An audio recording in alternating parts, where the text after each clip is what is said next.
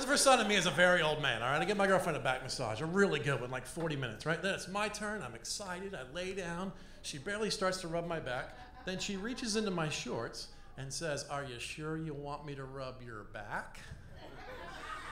And I said, Yes. what the fuck? I would have never said that before. Am I, 100 years old?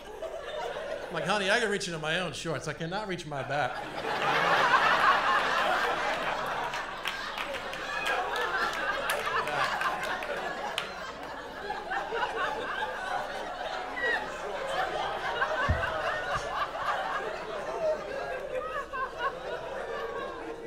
Tell you what, honey, why don't you rub my back while I reach into my shorts?